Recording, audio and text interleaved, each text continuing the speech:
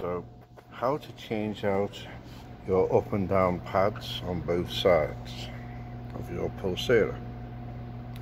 Firstly, go to the back of the system and underneath you will see there are two nuts. They are a 10 mil. Is undo those and then push this down and off. Once you have the back off, now you have to take off the sides. Now these have three screws. One is at the top. It's always the center screw, the big one. That's one at the top, one at the side, and one at the base. As you can see, this one is already popped out. And you then push down and take off. So once you have all the sides off, go to the left hand side and you will take these two screws out. And once they have popped out this one just pulls off straight. Once that is off if you look around to the front you will see there are two more one at the top one at the bottom.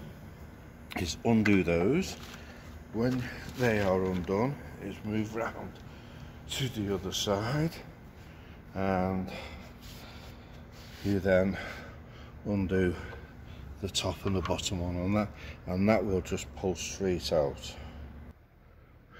Now that all the covers are off you can see your top switch and underneath underneath your switch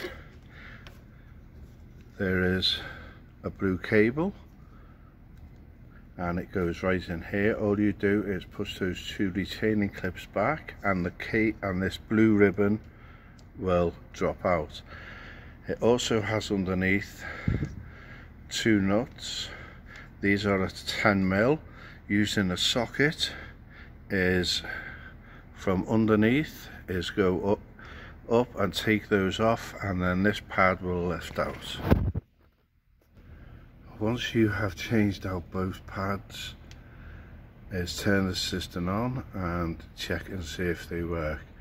If they don't then you'll have to change out the ribbon and make a note of the ribbon uh, which ribbon goes to which switch. It might be best doing it one at a time and the ribbons come down they go underneath this and they slot in here. Make a note of which one goes where